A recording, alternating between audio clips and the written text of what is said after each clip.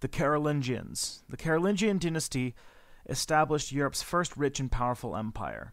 These people were the former Germanic barbarians known as the Franks. The Franks had settled what is now Belgium and uh, northern France.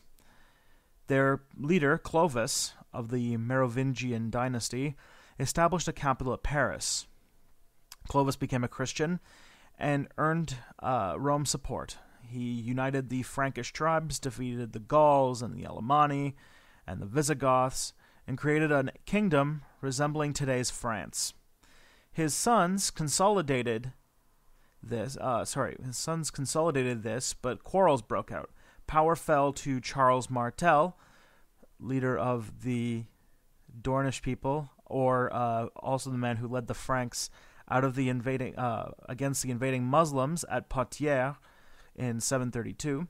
Charles founded the Carolingian dynasty and seven in 751 under his son Pepe.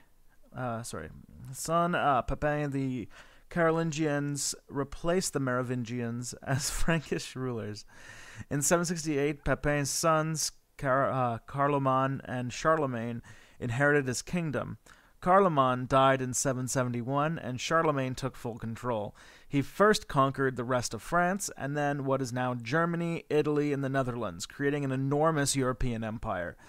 In Central Europe, he quelled the Saxons and the Avars, forcing them to accept Christianity. The, uh, the Carolingian Renaissance. Charlemagne supported the Roman Church, favoring its influence in his kingdom. In return, in 800, the Pope crowned Charlemagne as the first Holy Roman Emperor. Charlemagne was a lawmaker and founded schools, cathedrals, and monasteries run by Irish, British, and Italian monks. He also invited scholars, scribes, architects, and philosophers to his court. His capital at Aachen became the chief center of learning in Western Christendom. Charlemagne died in 814. His successor Louis the Pious ruled in 814.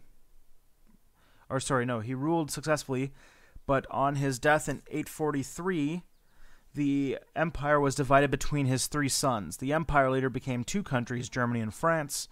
The Carolingians ruled Germany until 911 and France until 987. And just to put all the historical people at rest, Charles Martel was not in charge of uh, was not in charge of Dorne.